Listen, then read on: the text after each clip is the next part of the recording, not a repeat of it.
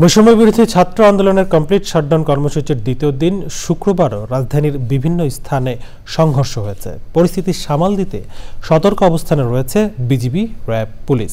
Uttara, Rampura এবং যাত্রাবাড়িতে থমথমে অবস্থা সকাল থেকেই।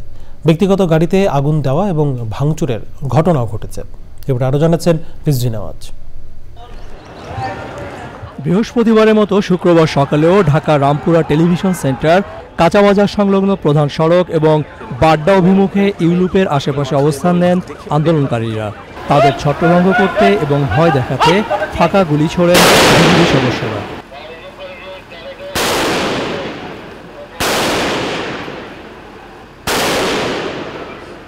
উত্তরার জসিমউদ্দিন রাজলক্ষ্মী আজমপুর হয়ে আবদুল্লাপুর পর্যন্ত সড়ক নিয়ন্ত্রণে রয়েছে কোটা বিরোধী শিক্ষার্থীদের।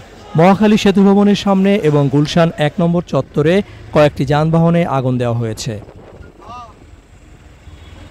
রাজধানীর যাত্রাবাড়িতেও আইন শৃঙ্খলা বাহিনীর সঙ্গে কোটা বিরোধী আন্দোলনরত শিক্ষার্থীদের সংঘর্ষ, ধাওয়া, পাল্টা ধাওয়ার ঘটনা ঘটেছে। Rizvina Waz, channel I, Dhaka.